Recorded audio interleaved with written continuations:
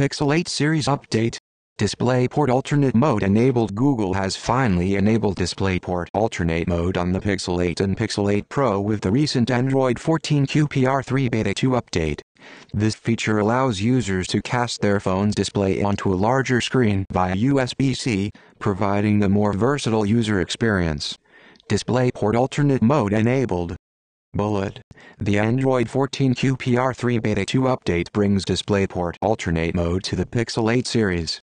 Bullet. This feature allows users to connect their Pixel 8 or Pixel 8 Pro to an external display via USB-C and mirror their phone's display on the larger screen. Bullet. Previously, this feature was disabled by Google despite the hardware support in Pixel devices for USB-C 3.1 or above, which is required for video transmission. Easy connectivity. Bullet. When you connect your Pixel 8 or Pixel 8 Pro to an external display, a prompt will appear asking if you'd like to mirror to the external display. Bullet.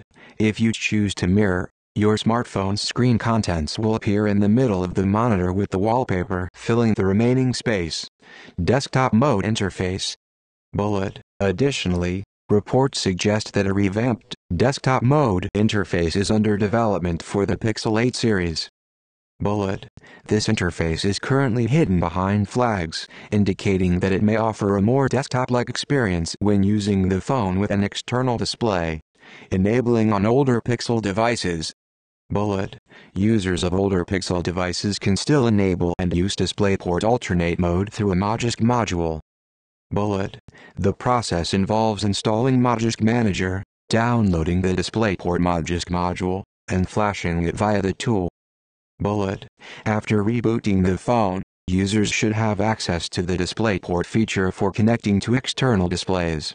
Comparison to Samsung DeX. Bullet. Samsung devices have had a similar feature called Samsung DeX since 2017, offering a more desktop-like interface when connected to an external display. Bullet.